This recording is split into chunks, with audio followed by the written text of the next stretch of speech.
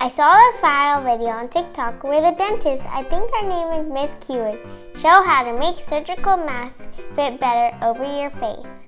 So I wanted to see if this hack would work on a cloth mask that I have which is too loose on me.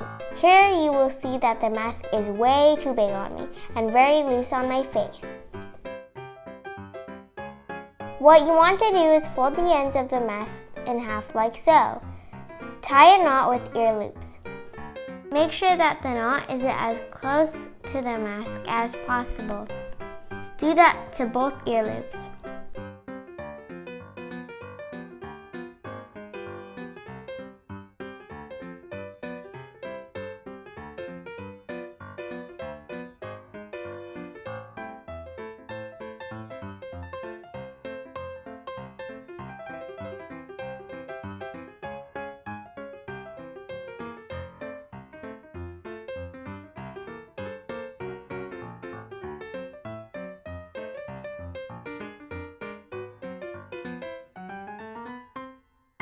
You see this little opening? Tuck it underneath the ear loops.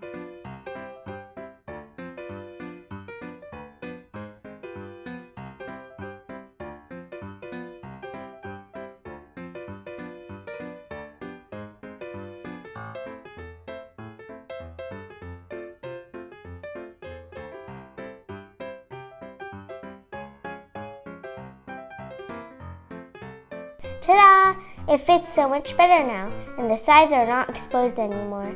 I hope you find this helpful. Stay safe and healthy!